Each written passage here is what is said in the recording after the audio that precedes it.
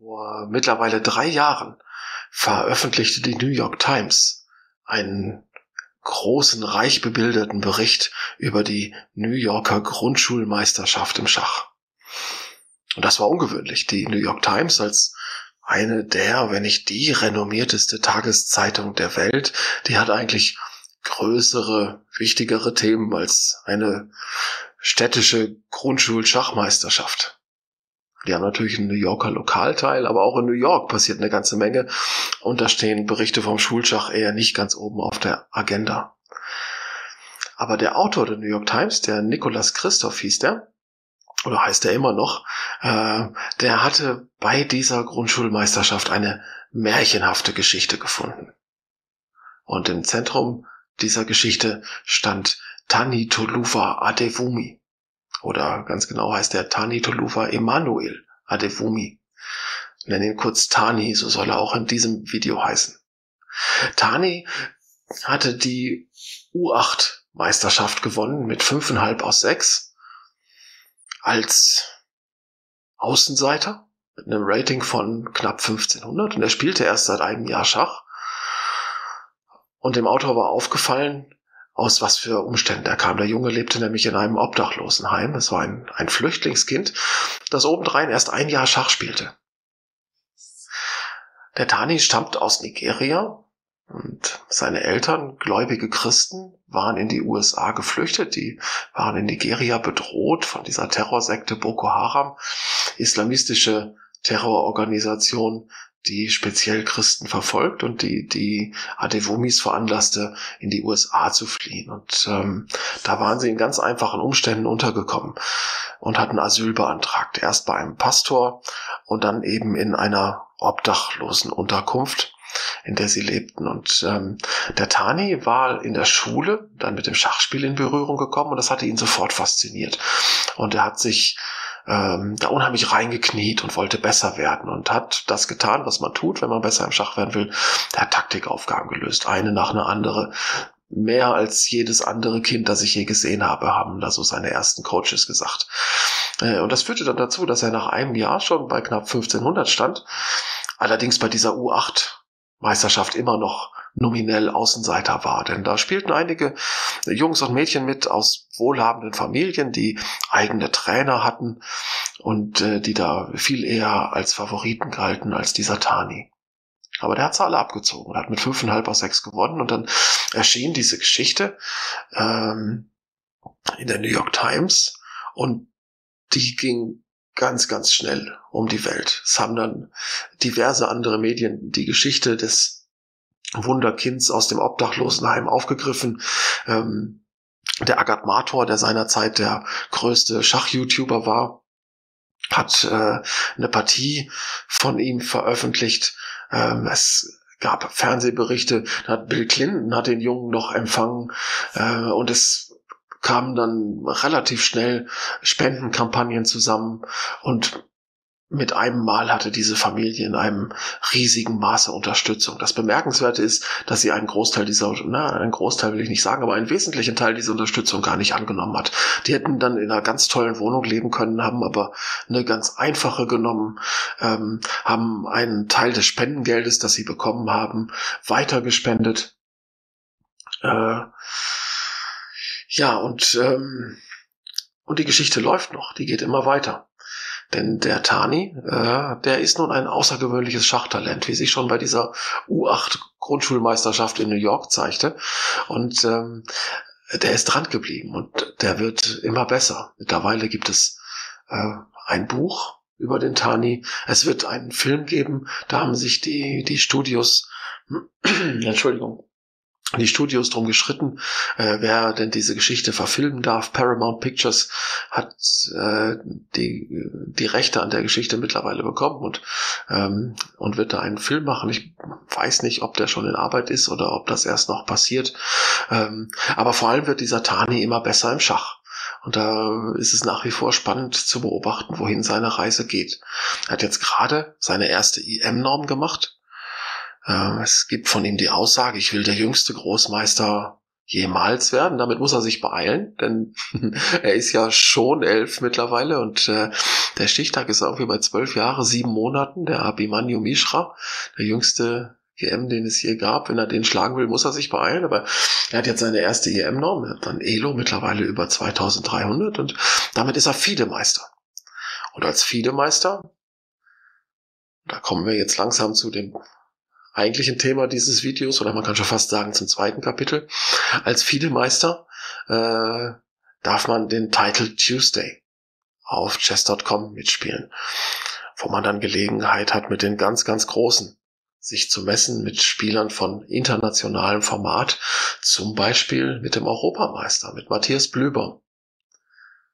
Und so ergab es sich, dass gestern am Dienstag, ihr seht hier das Datum, 3. Mai, top aktuell, ähm, dass gestern am Dienstag im späten Title Tuesday, es gibt ja zwei, äh, der späte fängt, ich glaube, um 23 Uhr an deutscher Zeit, ähm, der Tani sich in der dritten Runde mit Matthias Blübaum maß.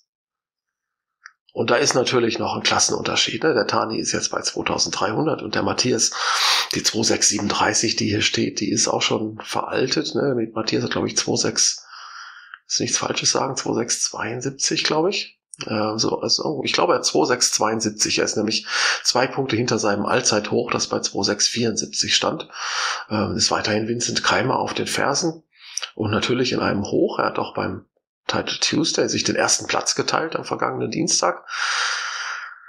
In der dritten Runde ging es gegen Tani. Und da gucken wir uns mal an, was da passiert ist. Ähm, ob der Tani den Klassenunterschied vielleicht ein bisschen negieren konnte zu Matthias Blüber.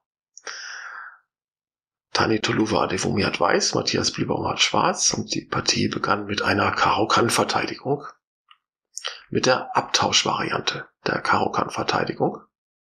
Läufer D3, Springer C6, C3, Dame C7. Dame C7 ist gegen weißes Läufer F4 gerichtet.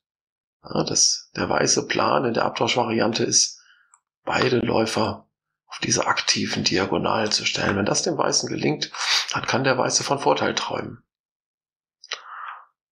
Und häufig dreht sich dann auch der weitere Kampf darum gelingt es Weiß, seinen Läufer auf F4 zu installieren oder nicht. Mit Springer E2 bereitet Weiß nämlich genau das vor. Schwarz spielt Läufer G4, ist seinerseits sehr froh, dass er seinen Läufer rauskriegt, bevor er E6 spielt und den potenziell einsperren würde. Läufer G4 ist auch gegen Läufer F4 gerichtet. Weiß kann jetzt Läufer F4 spielen, aber dann ist nichts mehr los. Den nimmt Schwarz einfach raus, denn der Springer ist ja gefesselt. Dann nehmen wir die Dame. Weiß hat seine Rochade verloren und ähm, es ist Material vom Brett. Jetzt muss Schwarz noch einmal aufpassen. Es hängt der Bauer D5, aber den kann man mit Springer F6 decken oder den kann man auch mit E6 decken. Ähm, und die Stellung ist total ausgeglichen. Schwarz hat keine Probleme. So kann man das nicht spielen als Weißer. Läufer F4 geht hier nicht.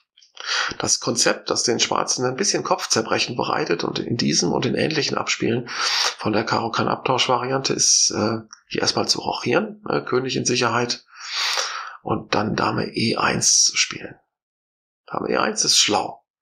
Dame E1 plant, den Läufer mit F3 rauszuschmeißen und dann Dame H4 zu spielen und hier mit der Dame sich schon auf dem Königsflügel einzunisten, äh, wo dann leicht der Schwarze Koordinationsprobleme bekommt, wenn er, denn der will ja hier eigentlich eher hinrochieren, der Schwarze. Wenn die weiße Dame da schon rumtut, ist das nicht so richtig angenehm. Dazu kommt noch äh, der Punkt, dass Schwarz diesen Läufer, den G4 zwar entwickelt hat, dass der aber jetzt von Schwarz zurückgetrieben werden kann und zum Ziel auserkoren. Also ein Abspiel, um es mal, um es zu illustrieren, ist Schwarz sich hier nochmal weiterentwickelt. 5, Dame H4.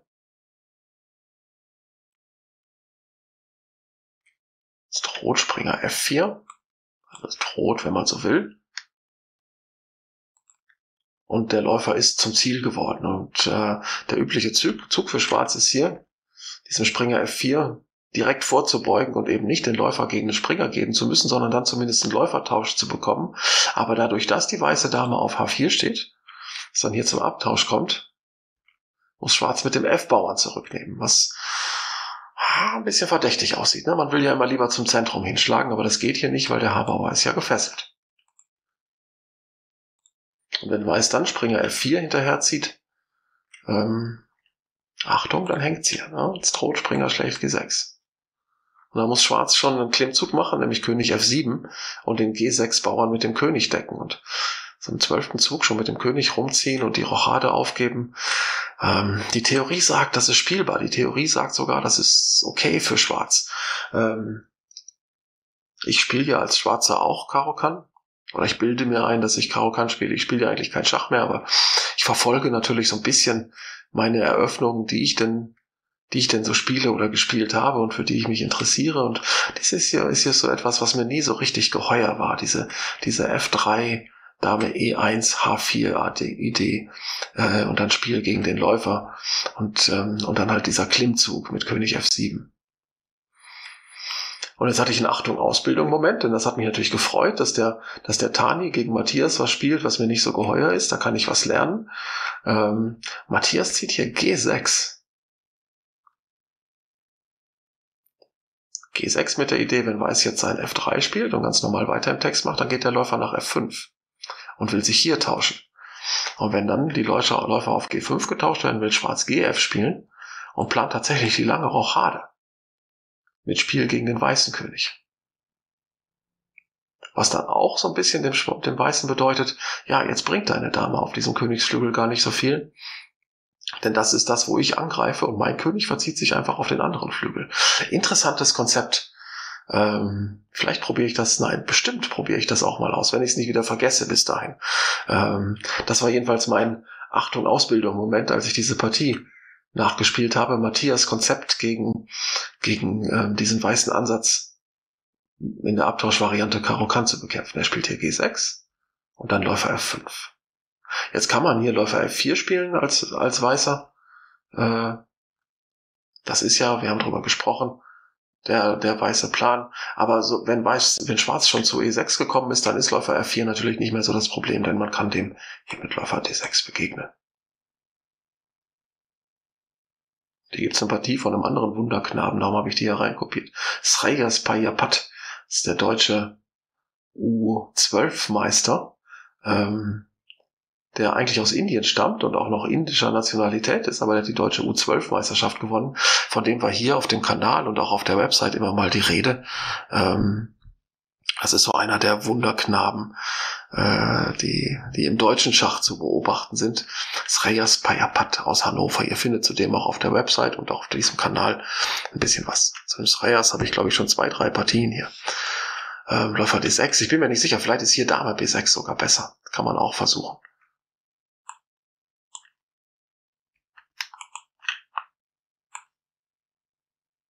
Ja, da ist mir, ups, da sind mir die Pfeile schief gegangen. Mein, mein Rechner spielt gerade verrückt.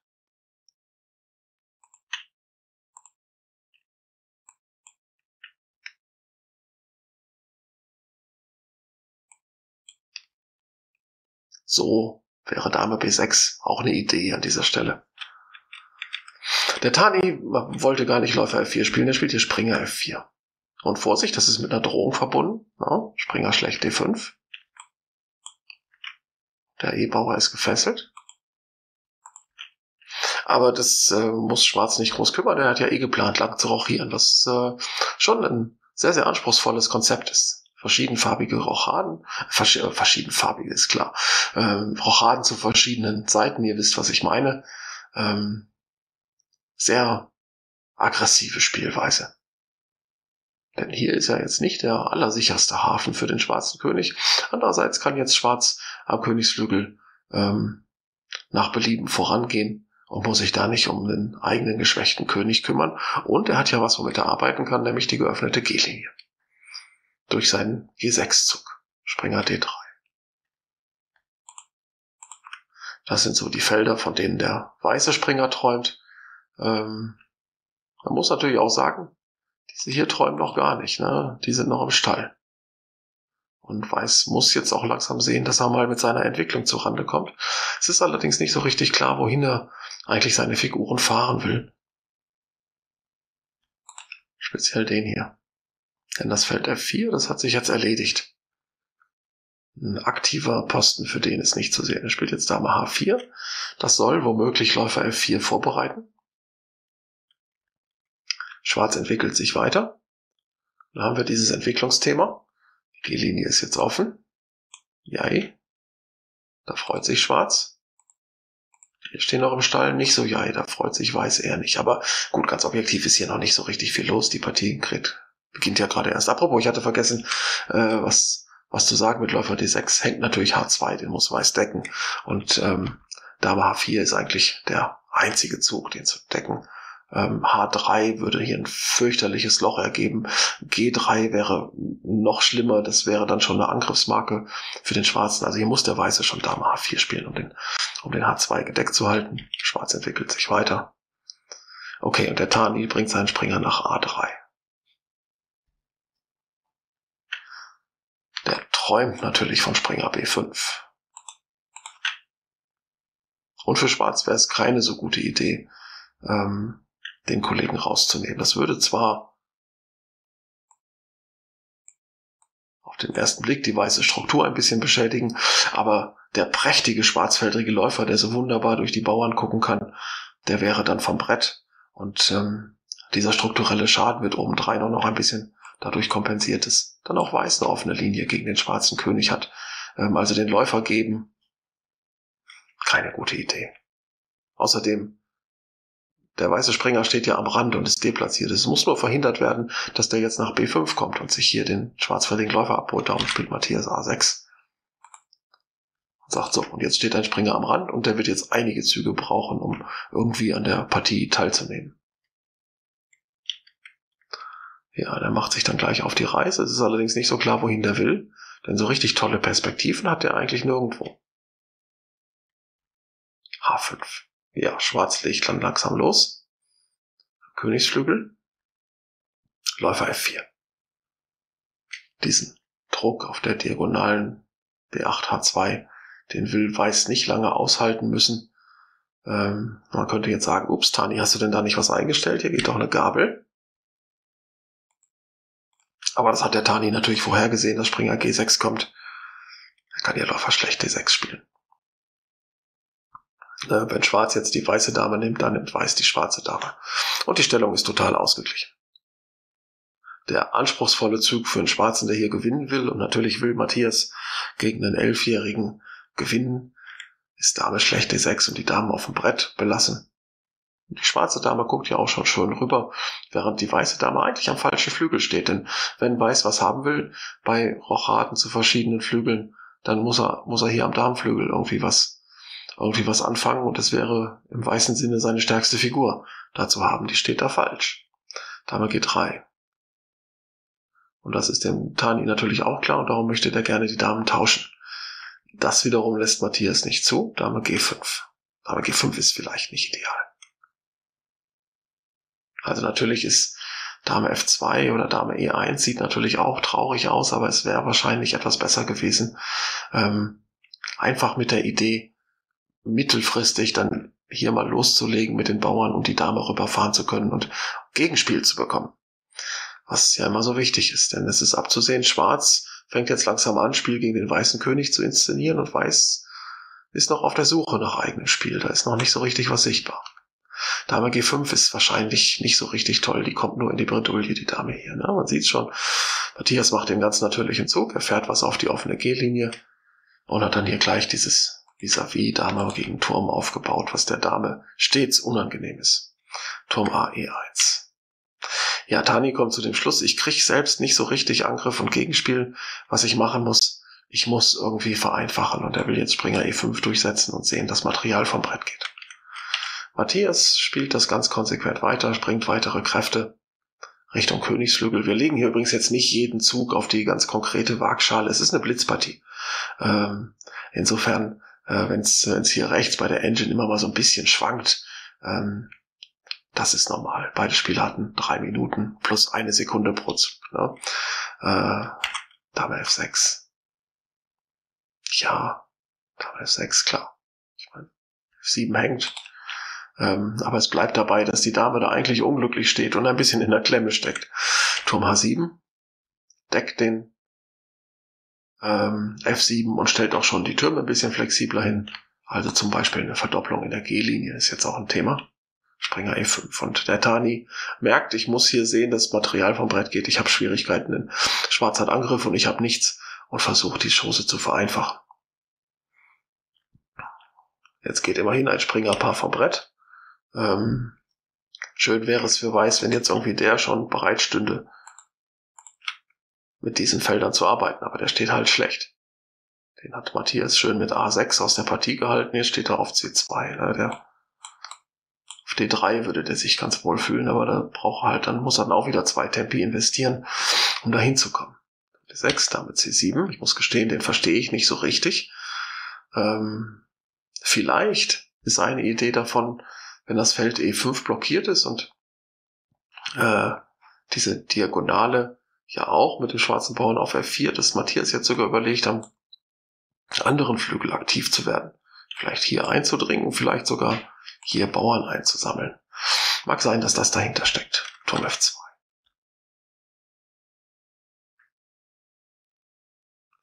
Ja, und Matthias macht den natürlichen Zug, den man hier in der Blitzpartie spielt, H4. Ähm, ganz klar, es geht weiter voran.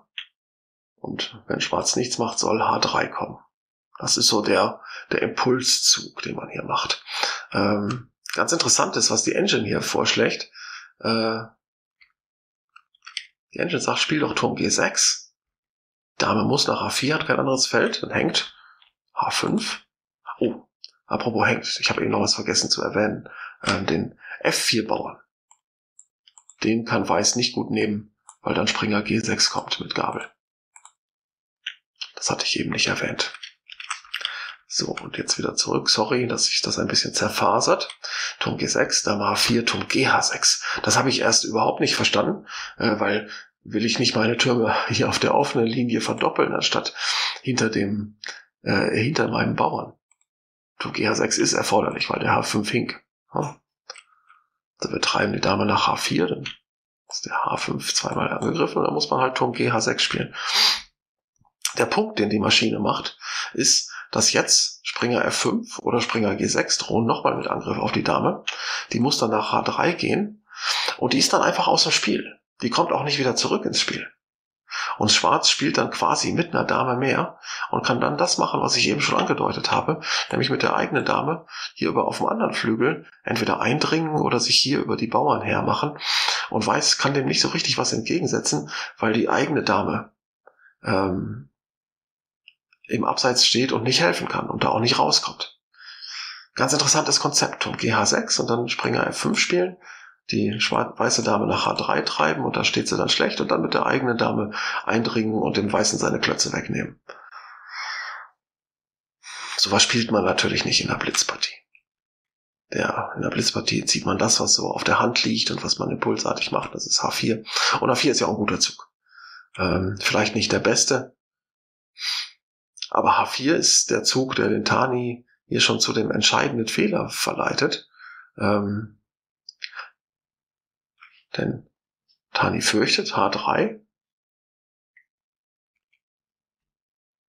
und blockiert das jetzt mit H3 und muss dann nach Turm G6 feststellen, dass, dass die Dame das Feld H4 nicht mehr hat, denn es ist jetzt alles blockiert. Turm G6, die Dame, wir haben schon oft gesagt, sie ist hier ein bisschen im Abseits und in der Bredouille und jetzt ist es endgültig soweit. Denn sie hat jetzt nur noch das Feld F4. Ups. Da ist einer gefesselt. Tja. Und jetzt verliert der gute Tani einen Turm. Und mit einem Turm weniger gegen den Europameister ist, das geht natürlich nicht gut. Und darum war die Partie dann jetzt auch relativ bald vorbei. Er hat dann noch ein paar Züge gemacht. Springer F5, Springer D4, CD. König B8. 1, Dame C2. Der letzte Zug der Partie, denn jetzt droht hier matt. Und ähm, Weiß kann das nicht mehr decken und selbst wenn es decken könnte, dann hätte Schwarz immer noch einen Turm mehr und steht damit natürlich auf Gewinn.